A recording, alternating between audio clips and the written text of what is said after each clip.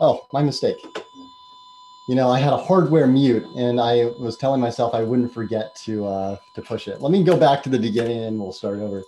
Uh, so hi, everybody. Uh, my name is Jamin Becker, and today I'll be talking about PacketTotal, which is a tool that I... Can everyone hear me now?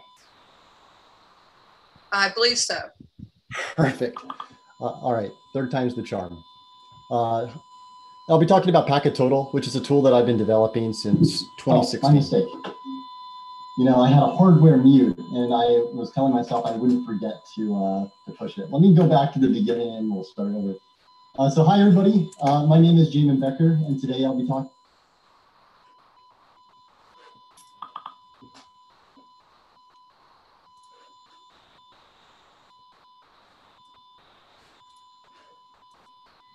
All right. So a little bit about myself. I started my career. Start over one more time.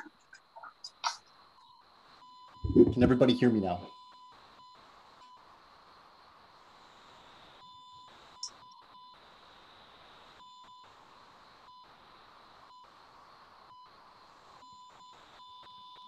Better? I'll wait five seconds and then I'm going to continue.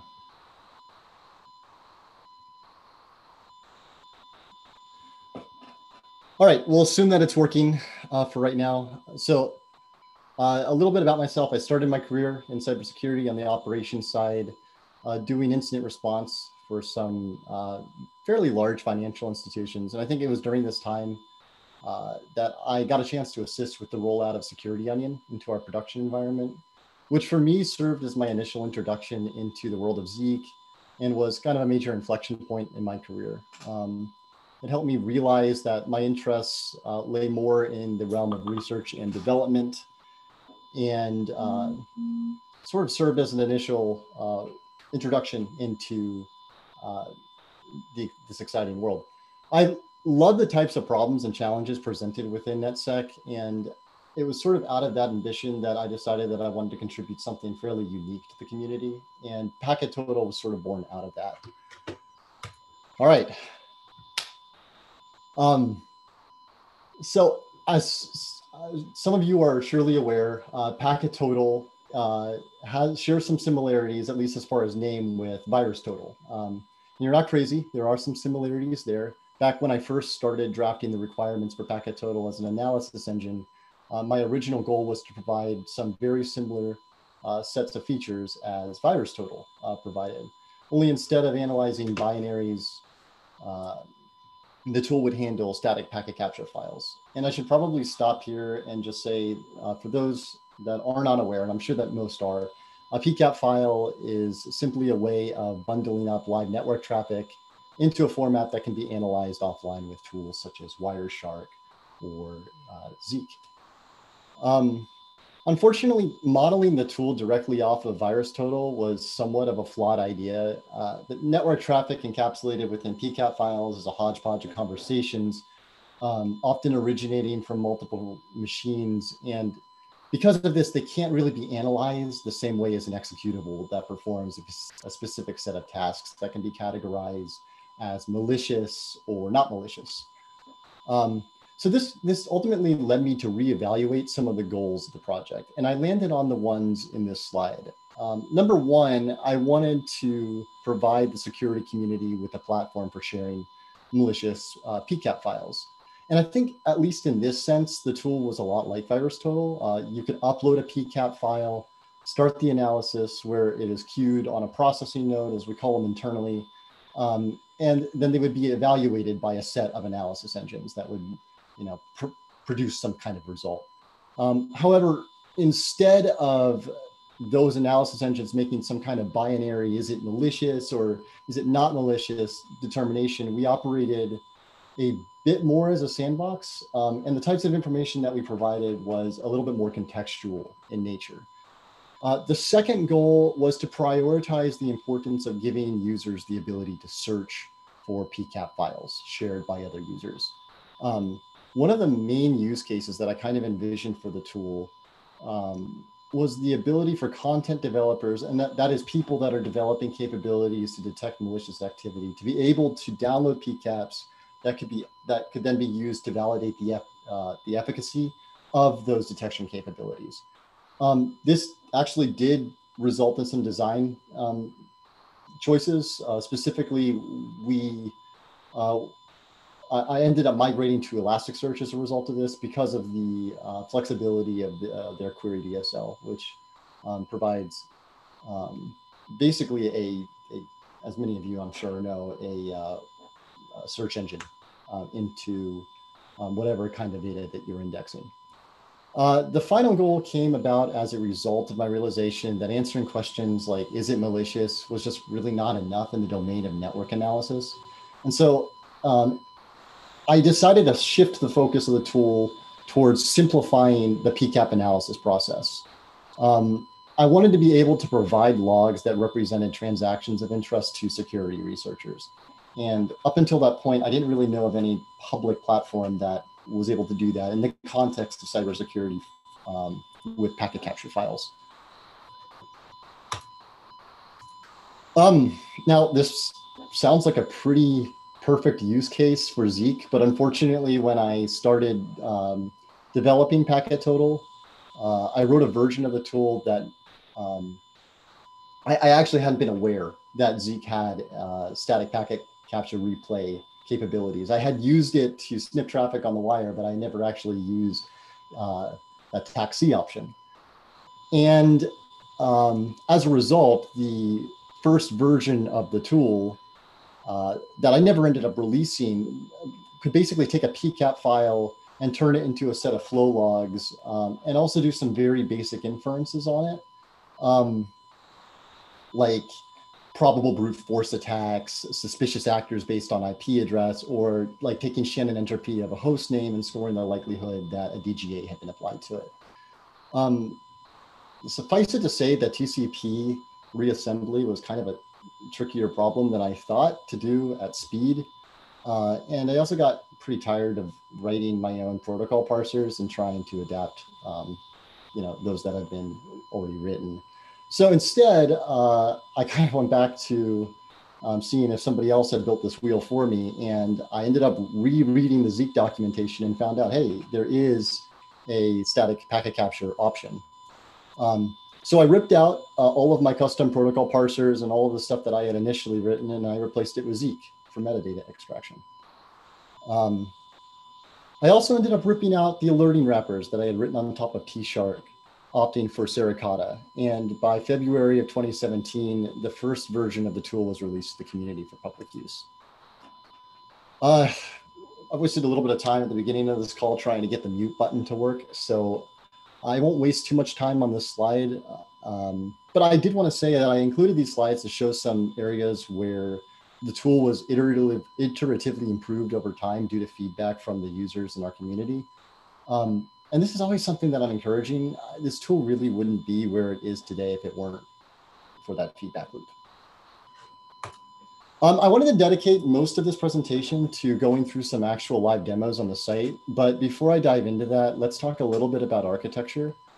Um, one of the obvious requirements of the tool was the ability to support concurrent user uploads. And uh, to accomplish this, Packet Total relies on a cluster of processing nodes. Um, sorry about the line. Let me see if I can fix that. I'm going to switch my mic for everybody on this call, and you just uh, message me in the chat if it's any better, okay? I'll wait five seconds.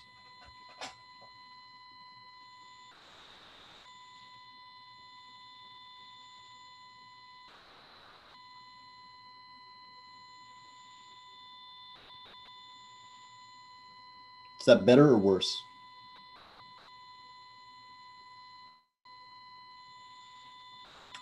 Okay, I'm going to assume it's better until I hear otherwise. Uh, each node has a set of engines that run at analysis time. They generate logs that are then mapped into Elasticsearch indices. Um, in this case, the engines that we run are Zeek and Suricata. No, didn't help. Let's go back to my other mic.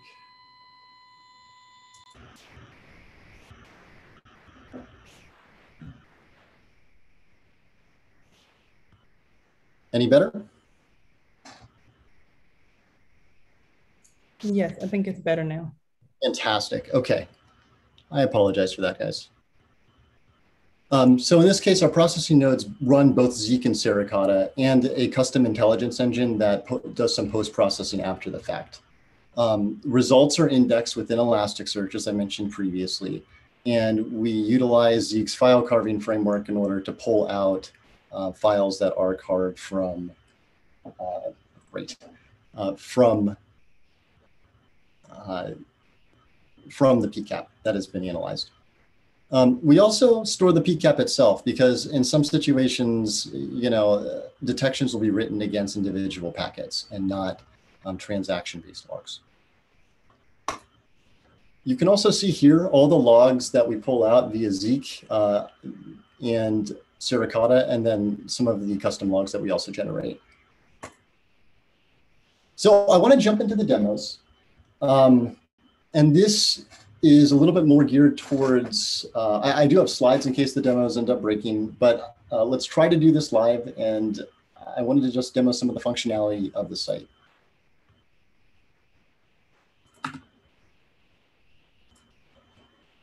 So this is the front page of Packet Total. You can actually upload a PCAP from any um, place on the website uh, using this little icon up here. I typically just do it from the front page. And if you're looking for a source of packet capture files, um, one of my favorite resources to take advantage of is called um, malwaretrafficanalysis.com. It is a website that uh, Brad Duncan, I believe, has been maintaining since 2013. Um, and it includes extremely detailed write-ups of sandbox malware detonations and the artifacts produced by that malware. They almost always contain the PCAP file, which is really great for our purposes. And so I'll grab one of the latest from this site. Uh, I did this last night, actually, so I've already got it downloaded. Um, this particular infection is called Guildma. It's, uh, I think, a fairly um, prevalent banking Trojan that's seen in uh, Latin American countries, but primarily Brazil. And in this write-up, the initial vector for the malware was through, um, what was a malspam campaign. So it was through an email attachment that once executed used some living off the land techniques to drop like a second stage malicious payload into the target environment. And I believe that's where the sandbox starts writing the PCAP file. Um, so I already went ahead and pulled this uh, the other night. Let's go ahead and drop this into Packet Total and just sort of see what the analysis workflow looks like. You can drag and drop it directly into the interface.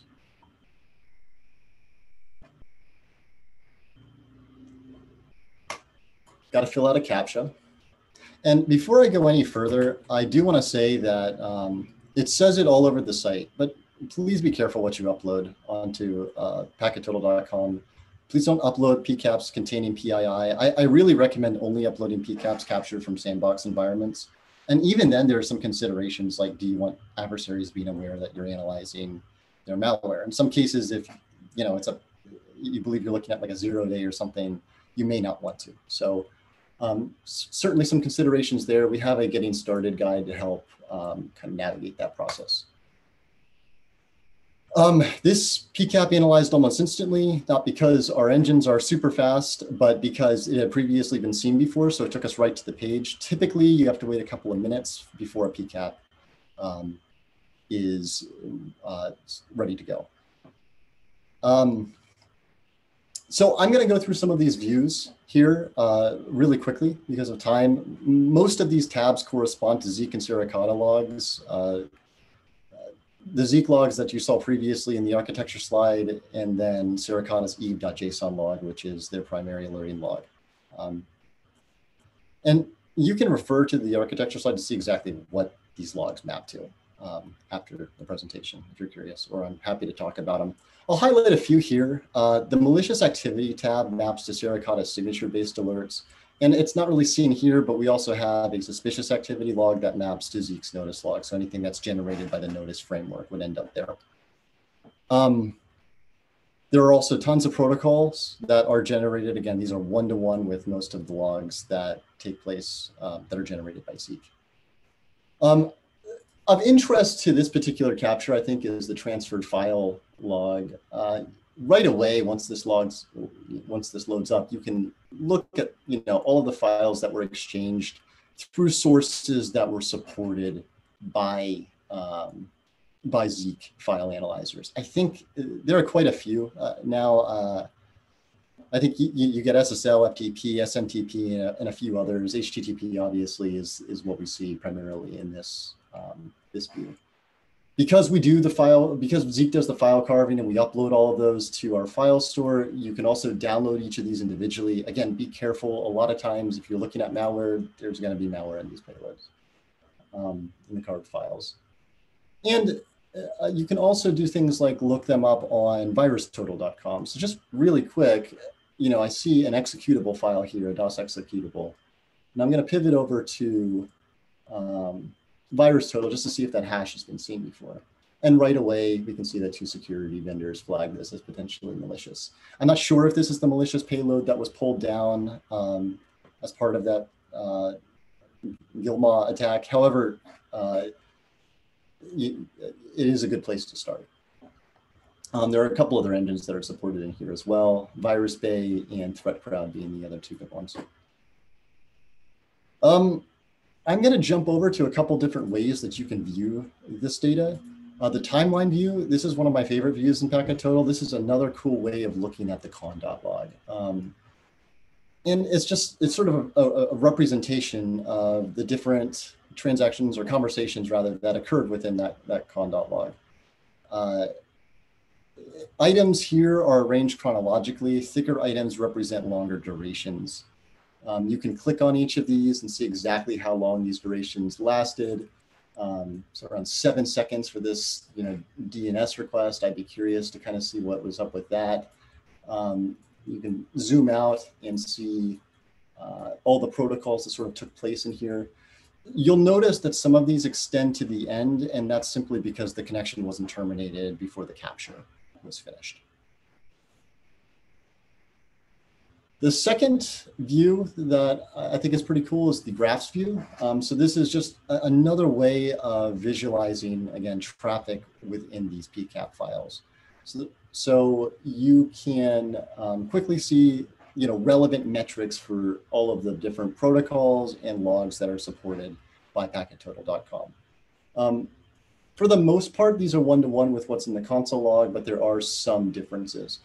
If you were to go over here to the transactions, um, like, or click on any of these metrics, you could actually pull up each of the individual uh, line items and scroll through it. So just kind of a nicer way of visualizing what's going on inside of uh, conlog and same thing for DNS and all these other protocol based logs.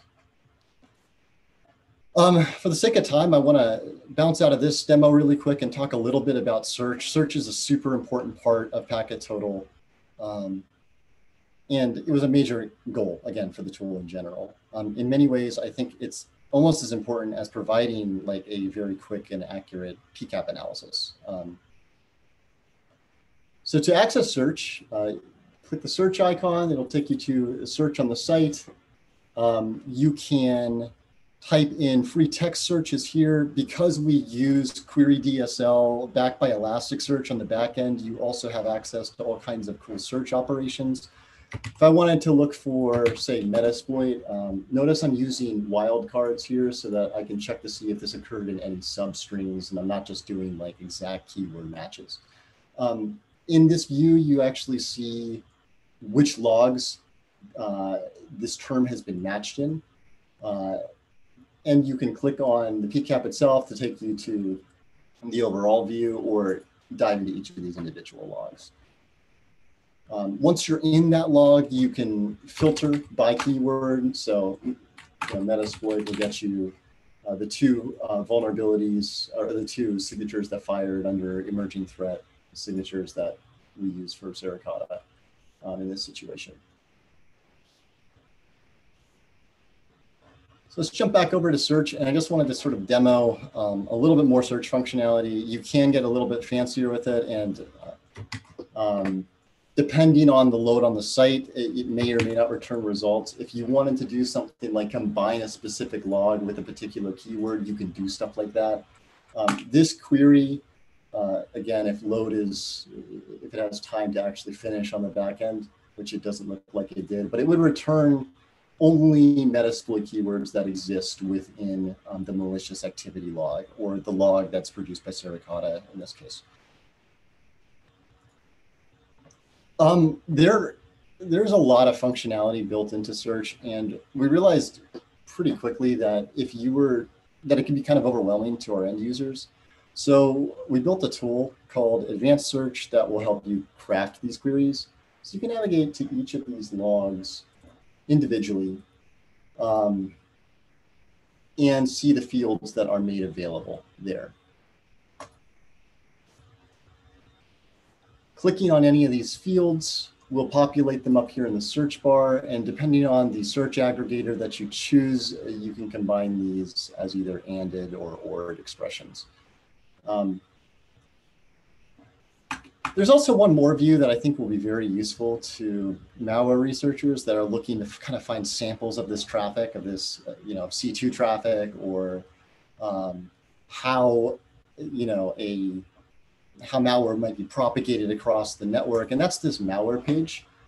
Um, and again, I'm going to give it a couple of seconds to load because this is a fairly intense query that it's making on the back end. But right away, you can kind of go through each of these malware categories um, and get some cool write-ups related to you know what this malware actually is, um, what campaigns it was seen in, the first time it was seen um, in the wild, and then PCAPs that that match you know one or more indicators. And we we build these search queries out themselves. I'm a little hesitant to call them signatures because they're a little bit looser than that. Um, but for example, if I wanted to come back here and say, hey, like what's what's a good query to pull back Mirai uh, botnet traffic. I can do that. And you just simply click this view and search button. And then right up here at the top, we have a nice long uh, query that will highlight some of these examples. So we're getting a bit short on time. I, um, I know that there are a couple of questions in the chat that I would like to get to at the end. I did want to demo one more thing, and that is similar search. Uh, this is one of my favorite features of the tool, and I think it's something that kind of sets Packet Total apart from um, other uh, static PCAP analyzers online, and that's the similar the similar packet capture search. And you can kind of think of it as a reverse um, image search for Google um, images. So uh, you know, we're, but we're doing the exact same thing with PCAPs. So again, it's demo. I'm going to do the best I can to, and hope that this loads. But you know, say I want to find a bunch of PCAPs that are similar to this one. Well, I can click on that similar PCAPs tab, and right away, you know, I, I, I start to build out these aggregate queries in the back end that do stuff like um, compare match terms. And um, obviously, terms with higher match strength will show up at the top. Here's another example over here um, uh, of, I think, some C2 traffic that we saw uh, from, uh, forget the name of the data set. But, you know, right away, we're able to pivot to other PCAPs that could contain um, this type of information. With all of that being said, I'm going to hop back over to my slides. And I did want to bring up one more thing before I wrap up this presentation. And that is that we did launch an API several years ago uh, to, it really ended up being something we only made available to some of our users. Uh, it, we did this to be able to make sure that the site still continued to perform um, relatively well. Um, but as of today, I would like to open it up to a few more uh, users.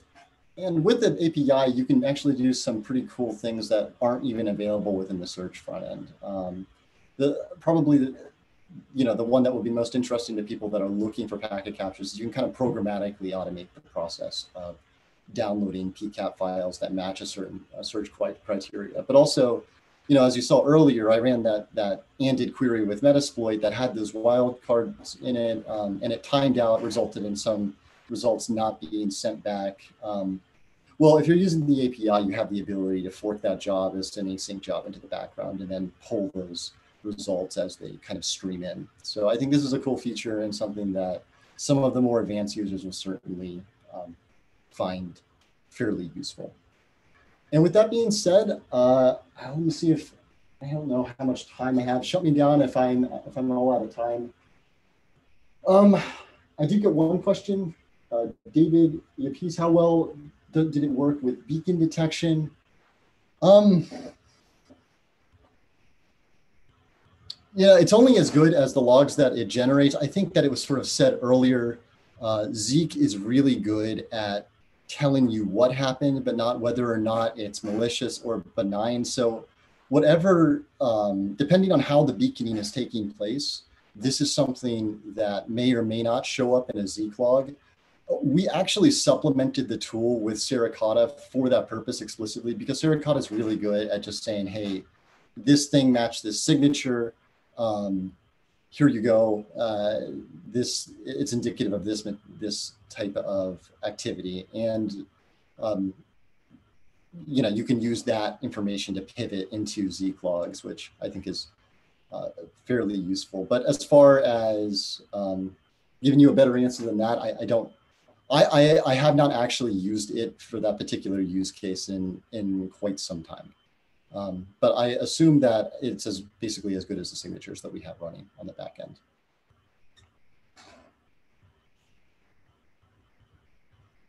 Awesome. Well, if there are no more questions, and feel free to, to talk to me offline. I do apologize for the initial technical uh, difficulties. I think that's just part of uh, the work from home life, but thank you for keeping me straight on, on the call. And um, please feel free to sign up for the API, give us some feedback, um, and you know, let me know if you have any more questions.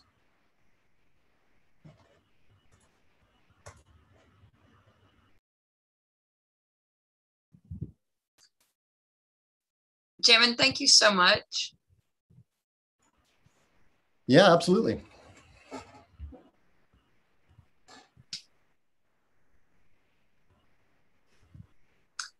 Up next, we have Jamin Pumphrey, who's going to speak about Zeek, the truth in the cloud. And Jamin, if you want to share your screen and test your sound right quick, that would be great.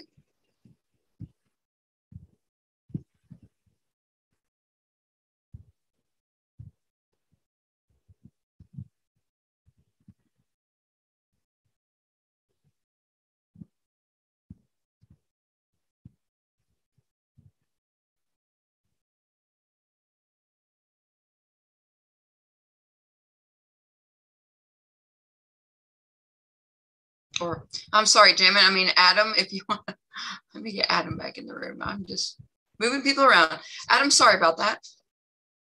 If you want to test your screen and share your slides, uh, please do.